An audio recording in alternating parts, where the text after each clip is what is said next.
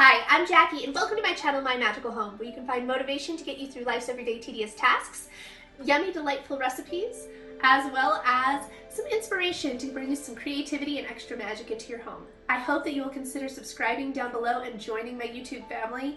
Don't forget to say hi. Let me tell you about today's video. I'm going to be taking you along with me. This is going to be very quick as I show you the different items that I picked up for my family's spring or Easter baskets this year. Now, Pre-warning, my family are all adults. My daughter is 19 years old, so these are adult kind of ideas. We do not have anything for little kids here. So if that's what you were looking for, I can lead you to some fantastic ladies. I will try to link them down below. But I do hope that you will check this out and let me know what you think.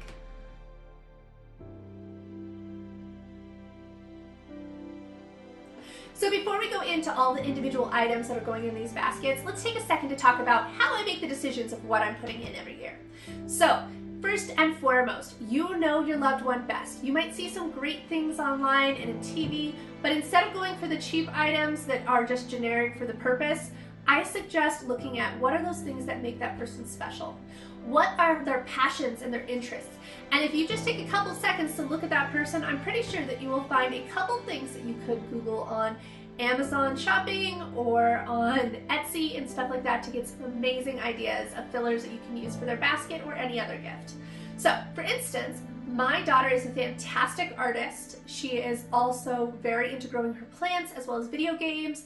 So you will see that I tried to touch in on all of those amazing passions in her basket as well as my husband. He brews his own beer. He likes to compose music as well as he loves to draw as well. So I look at those things and, you know, when you think about it, just think about what makes you smile about that person, what makes them so extraordinarily special that you want them in your life.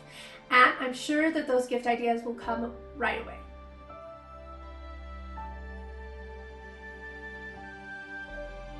All right, so we already discussed how I decide what items I'm going to be putting in the basket. I also wanted to show you really quick the baskets that I picked out for this year.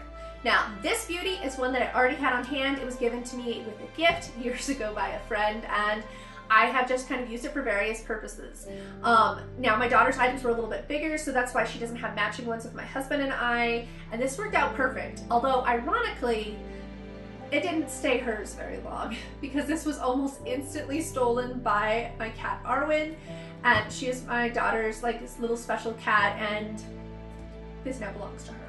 But this is the basket that I decided to use for her gifts. Now for my husband and my gifts, I went ahead and picked us up each one of these Hearth and Hand baskets from the Joanna Gaines line at Target. I think they were $15 each and they're incredibly sturdy. I love the wood handle. It is such a nice touch on this. But best part, I can reuse this for storage later on. It's not something that's so froofy or frilly that it just screams spring or Easter that it can't be practical at the same time, and that's important to me. So I am really digging this. I suggest these if you guys are looking for something that is similar.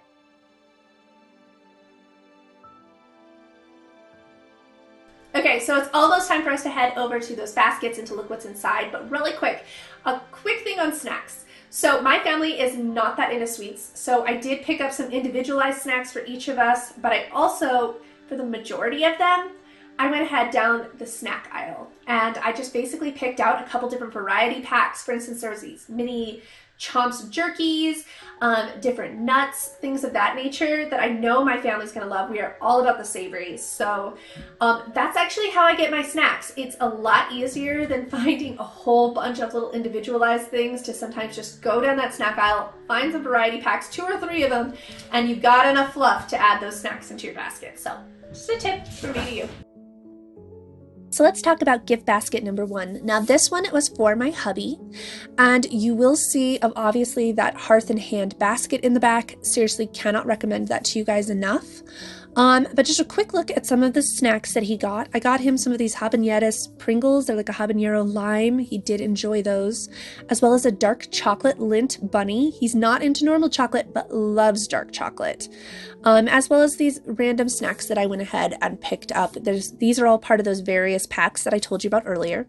I also got him this sketchbook, as well as this little graphite sketching set that comes with its own little case from Walmart. And I think that's perfect because then he can take that with him on the go when he's at work in between patients, things of that nature to work on his songs and art. Also, because he does brew beer, I grabbed him these little sampling glasses, as well as this cute little hop, which can be used as a decoration, but more importantly, if you turn it over, you can screw your growler into that hole, and it holds it up and helps it to dry a little bit more easily, because they're kind of big and bulky and it can get a little weird sometimes. Let's go ahead and get this basket put together. This is the wrapping paper that I have. It's just something I had on hand from a previous like adventure at Dollar Tree, but I think that this turned out so cute and he was so excited to get it. Let me know, do you guys do Easter baskets for the adults in your family or is it just the kids? Time to talk about basket number two. Now, this one is for my daughter Hope, and you will see that I picked her up her own can of Pringles. Hers was sour cream and onion. Also, this weird little ball thing that she enjoys, like um, pizza goldfish. I got her another Xbox controller, as well as this little glass terrarium from Amazon because she really is enjoying her plants, and I thought that would be a terrific addition. I also have one little black, like fountain, like ink pen for her, which I thought could be fun for when she's drawing.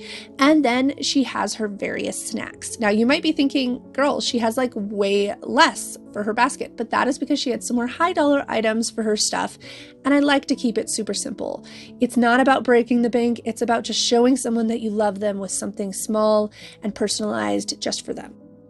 Now, to add to the mystery, I'm just going to go ahead and add most of these small snacks into her terrarium so that when she first sees it, she doesn't quite see everything all at once. Um, and it just made it nice and easy so that none of the things got lost down underneath and kind of unseen. So I'm going to go ahead and wrap this terrarium as well as the controller and put this baby together. Okay, so as this is getting put together, I gotta talk about the elephant in the room, or actually the kitty in the room. I don't know if you saw, but my daughter's cat, Arwen, was just in love with the basket that I used for her goodies this year. She just instantly claimed it. I actually had to shoo her out to put the goodies in. Time for gift basket number three. Now, this one is technically for me. Um, so, I have this really nice little notebook so that I can keep track of all the things that I need to do. I have a couple of my favorite DVDs that were on sale for ridiculously cheap on Amazon, including Divine Secrets of the Yaya Sisterhood and Under the Tuscan Sun. I am a big apron fan, so I found this adorable spring and summer apron to add to my collection. And then I have some more of those ink fountain pen things that I got for my daughter in just various colors.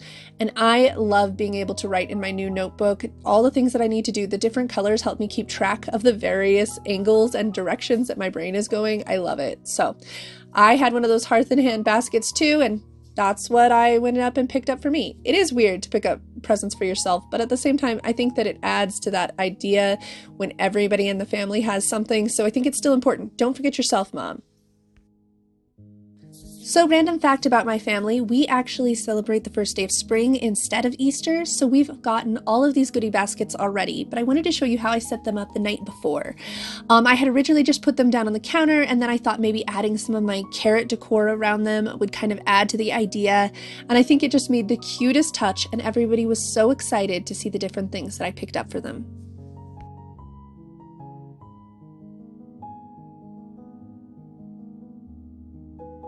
So, if you are OG, you might be wondering where are the pet gifts? Because I always try to do something special for the furry family members as well. But this year, I decided that the best thing for them was to get some of them spayed and neutered because if you didn't already know, one of my kitties that I thought was a boy wasn't. And so this last summer, we welcomed in some beautiful little kittens who have just brought so much joy to the house but we need to stop the popul- we need to add some population control in there. So I decided to hold off on spring gifts. We'll get them some gifts later on in the season and to focus on that first. So, but if you are looking for some, go to chewy.com, look up Frisco springtime toys. Oh my goodness, they have such cute things. There's little tunnels. There's all different kinds of fun, and I'm sure that you're going to find something that your animals will love.